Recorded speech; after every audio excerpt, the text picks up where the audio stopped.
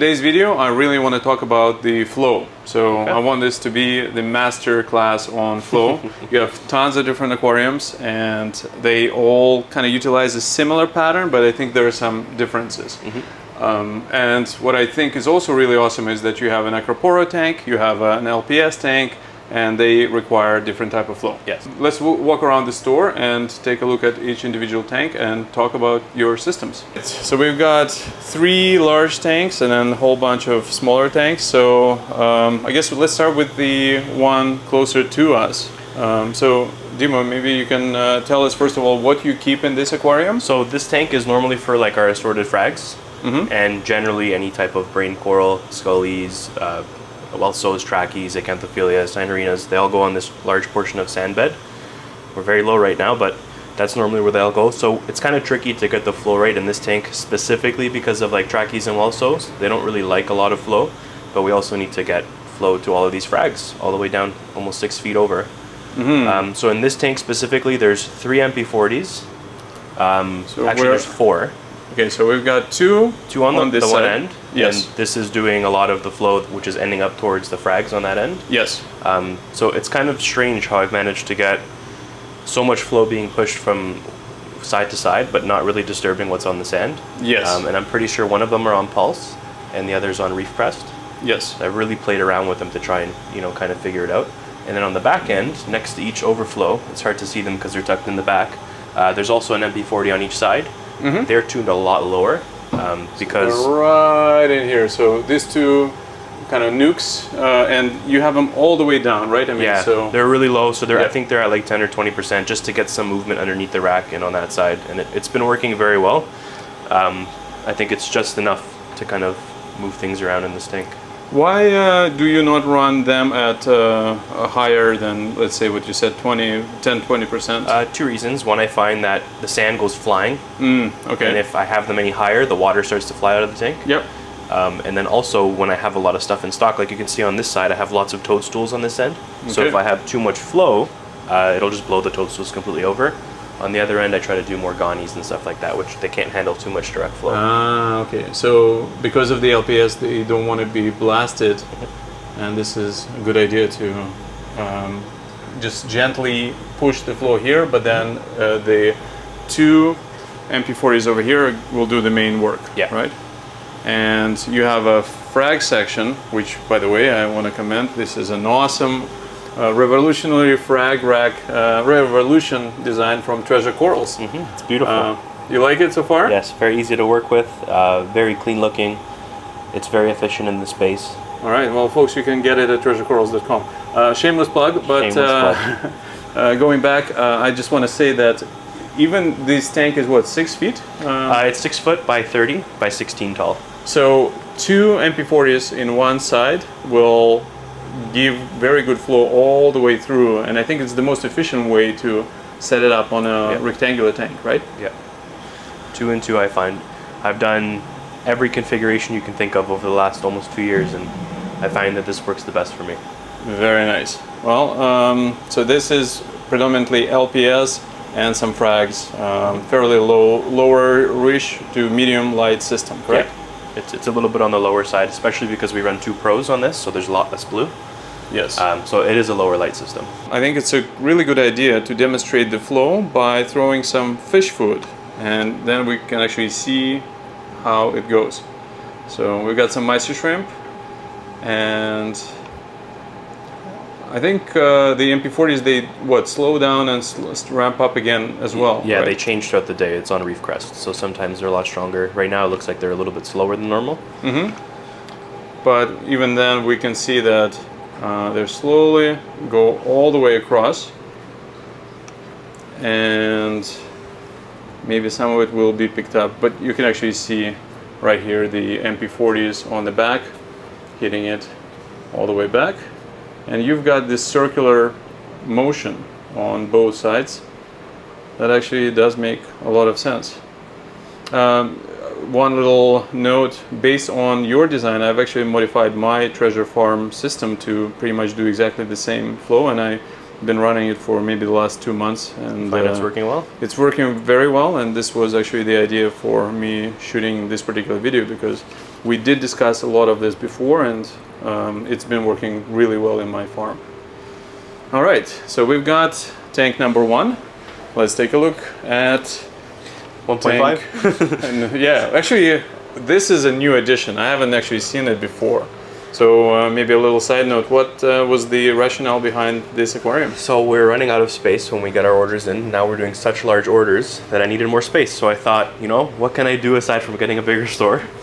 and uh, I figured out a way to kind of fit three of these smaller tanks in, and they together they kind of equate to almost one entire big table. This is beautiful. So I get a lot of space in there. We're still in the process of finishing them, so they're they're a little bit rough uh, as far as the wood and stuff like that, but they're functioning. Um, and on top of having more space, it's also really helped uh, with the system turnover because I designed the three main tables with very low turnover. And now because I have this middle tank will feed this new tank and this new tank will drain into the tank on the right. So it really stirs all the system together a little bit better. Well, this is beautiful, and those uh, torches look so delicious. Um, I may have to pick something up for my uh, display. So um, you have only a dryer in here, right? Yeah, so, this tank was just a dryer. Uh, the plan was two, but it looks like I'm not really getting much detritus build up, just Yeah. the one.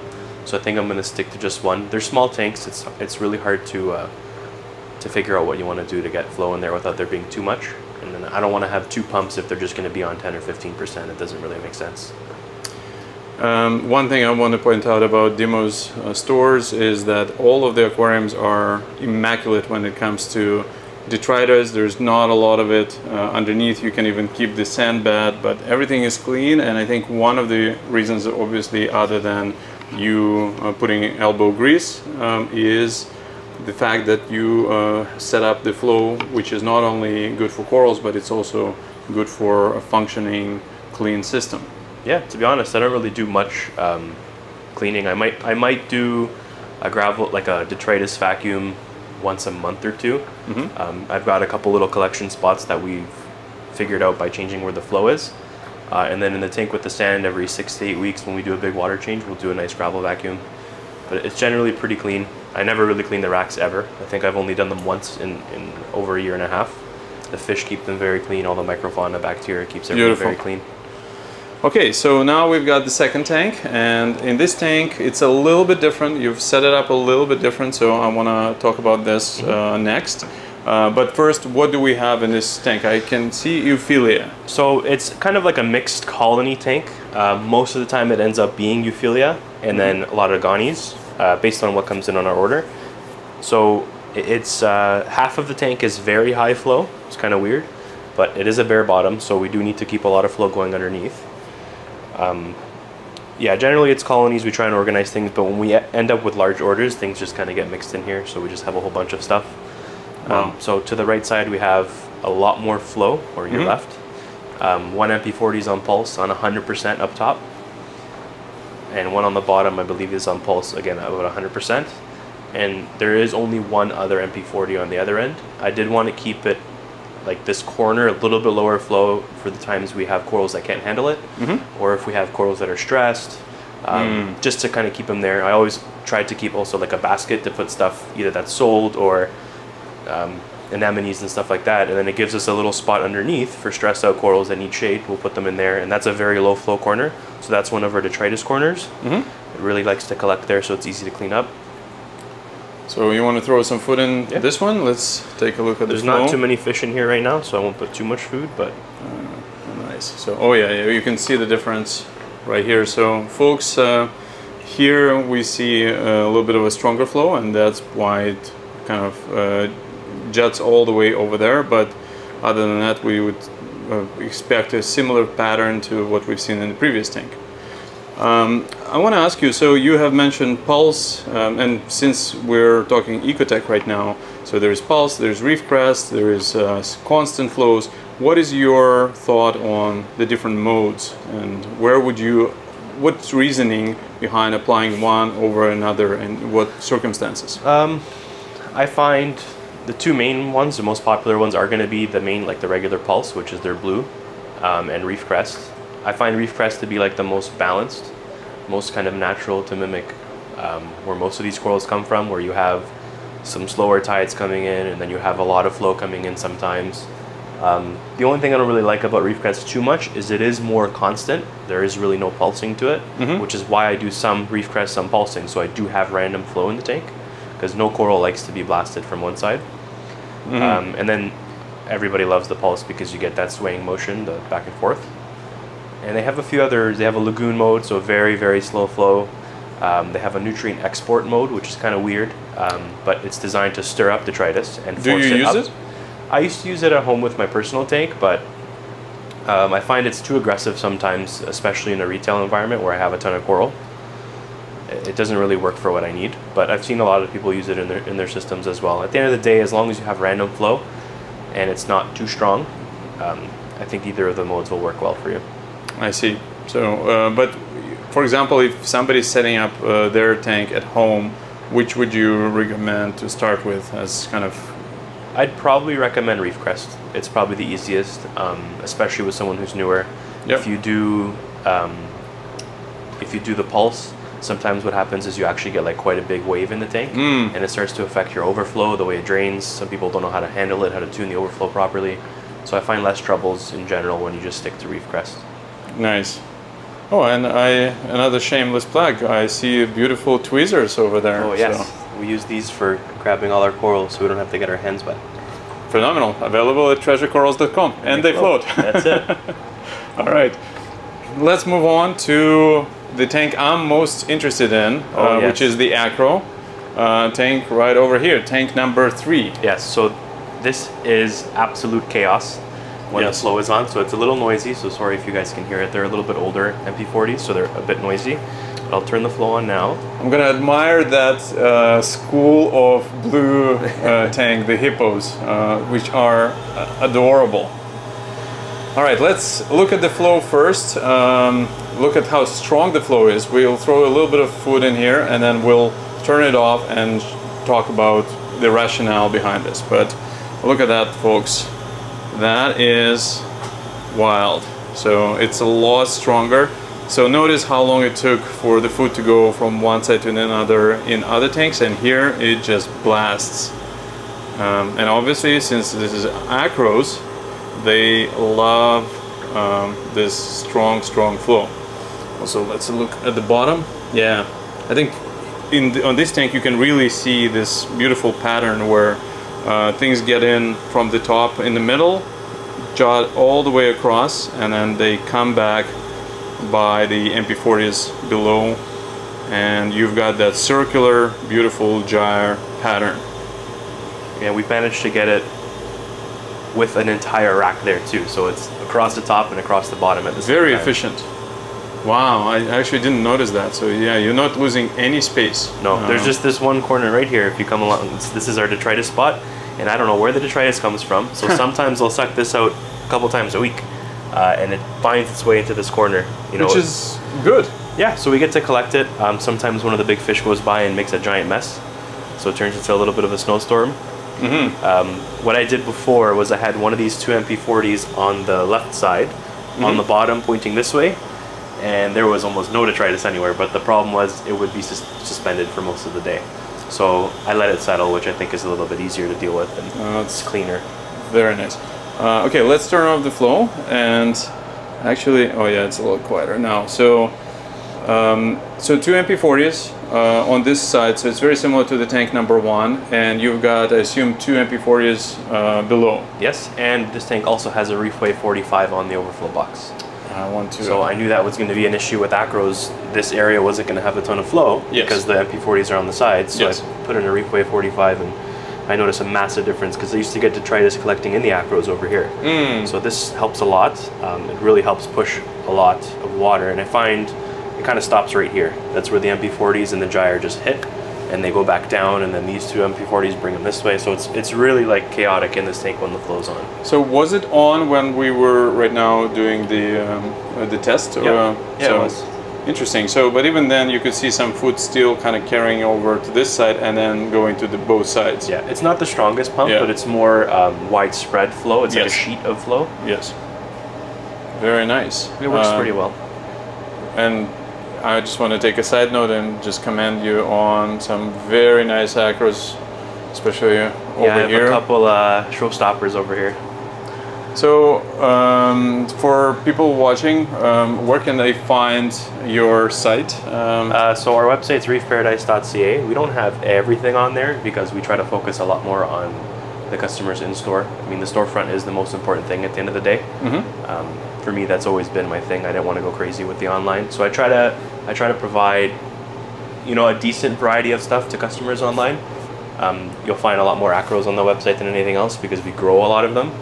So I always have you know our collection there, but there's always goodies that that we have in store that you'll just never see online.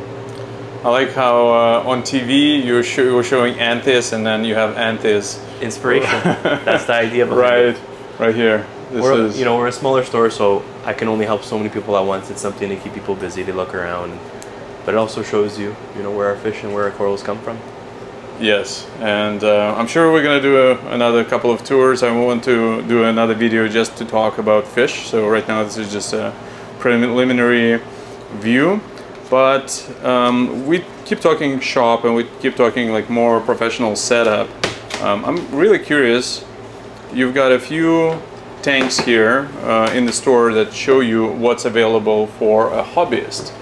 So we've got. Oh, I just got a this is a beautiful picture.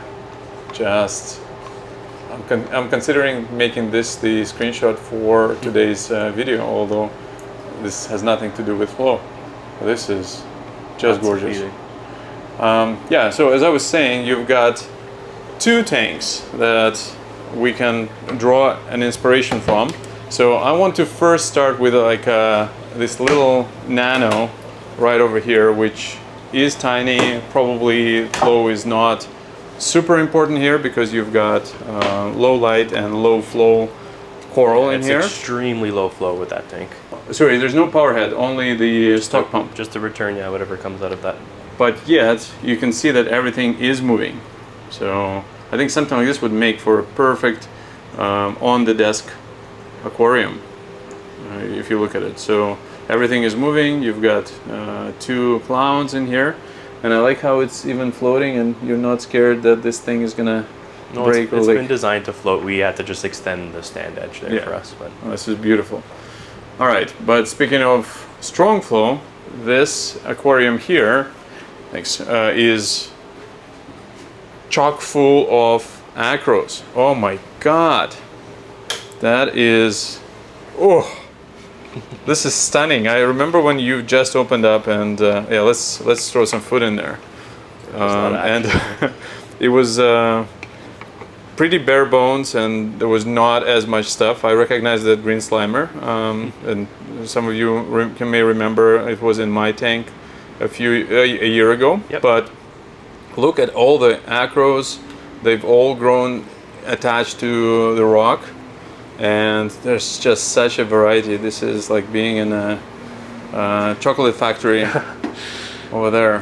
Holy! yeah, I get a. I get a little uh, carried away sometimes. But this display is a representation of what I love. It's, it's mainly acros. I have some euphyllia and stuff like that in there for for movement, but I've always been an acro guy, and this is always what I've wanted in a display. Yes. So uh, I wish it was bigger. As you can tell, I try and fit something absolutely everywhere, even mounting acro colonies to the back glass, on the sand bed in the back corner. But um, it's really coming together. Just uh, I think it's about a year now. I think it's about a year old, Yes. maybe 13 months. Yes, and um, I just want to point out that you've got the Walt Disneys of the world and all the other named corals in here, and every like everyone is exhibiting beautiful, top-notch coloration. Just look at that um, pink caddy. Uh, you you see a lot of different pink caddies, but this is the OG with uh, just the right color. And it actually spent, I want to say, the last six months being stung by torches, Oh my god. and he's still happy. Yes.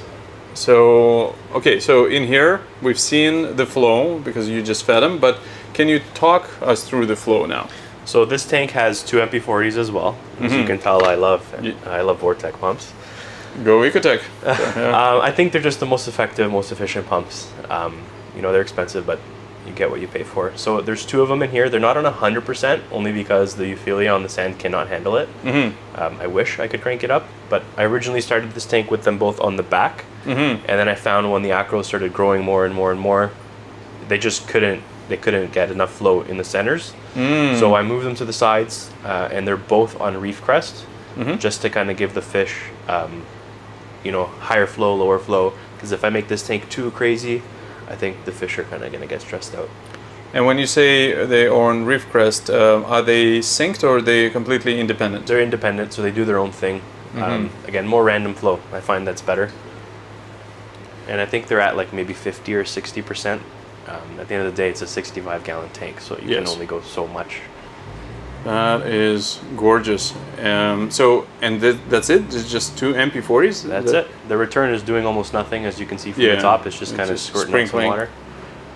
I'm a big believer in lower turnover, so the filter has more time. Like skimmer has more time to really pull more protein out of whatever Mm. water's in the sump. Uh, whatever filtration you have there is being more efficient. Um, it's just not needed. As long as you can keep temperature, Yep. you're good. Hear that, folks? Um, you don't need to be doing 300, uh, like t- three times turnover per hour or No, whatever. it, it used to be common to say five to ten times turnover, but now it's like two, two Yeah. to three. That's all you really need.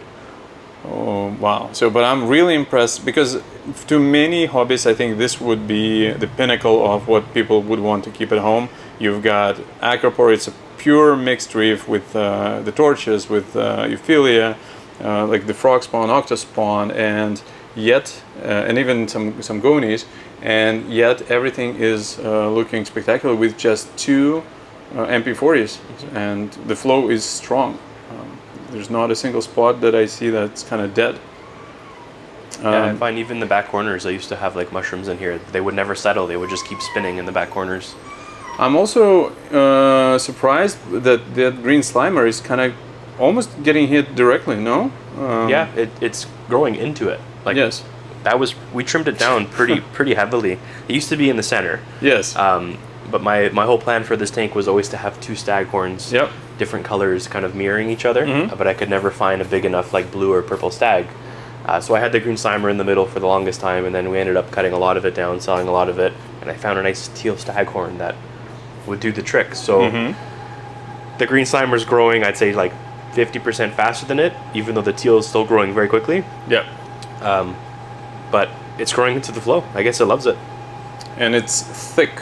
Yes, Um, very thick branch. It's a lot thicker than I had it with my tank, and I think that's because of the flow. Yep. So there you go, folks. This is another uh, secret. And um, Dimo, I really appreciate uh, showing us around. I think a lot of um, people that have been in the hobby, but also uh, newcomers, would benefit greatly from all the years of uh, wisdom of you doing all of this. But also, I think the results show. It's one thing when people say and you don't see their tanks, but here, clearly they do. Yeah, I, I tell people, you know, what I do, and there's nothing to hide. So we show them, and we want everyone's tank to look like this at the end of the day. That's the goal. We want everyone to be happy. Uh, we're preaching to the choir. Um, thanks a lot. Dimo, thanks a lot for showing us around. I think this was very educational. And with that said, if you have any comments, uh, please write them below and I'll make sure that uh, Dimo uh, will answer them.